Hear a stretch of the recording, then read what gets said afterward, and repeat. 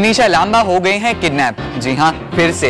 लेकिन इस बार जरा कहानी में ट्विस्ट है, क्योंकि मनीषा को इस बार इमरान ने किडनैप नहीं किया, बल्कि किडनैप किया है जूम रिपोर्टर अंजलि ने। So let's have a look at this Zoom exclusive hi मैं हूँ अंजलि, और आज हमारा इरादा है मिनीशा लांबा को किडनैप करने का। तो चलिए साथ मिलकर करते हैं किडनैप मिनीशा को।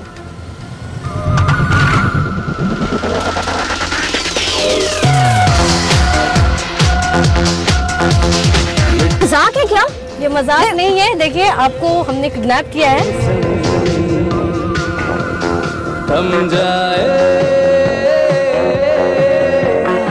जब किडनैप एक्चुअल में कोई होता है तो वजह मालूम नहीं होती। यही आपको बताने के लिए हमने किडनैप किया है।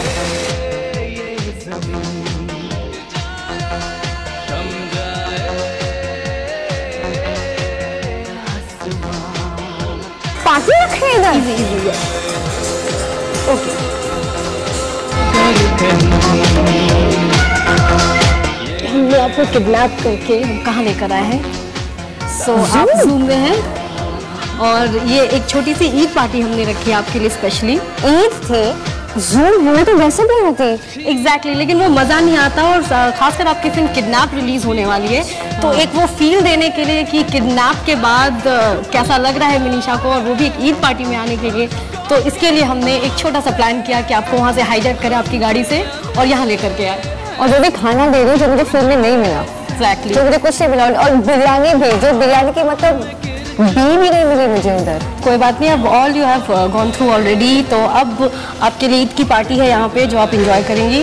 और मिनिशा को हम अभी छोड़ देते हैं ताकि वो यहाँ पे डिलीशियस खाना इंजॉय करें और हम सभी इंतज़ार करेंगे किडनैप के रिलीज़ होने का जो सेकेंड अक्टूबर को रिलीज़ होगी।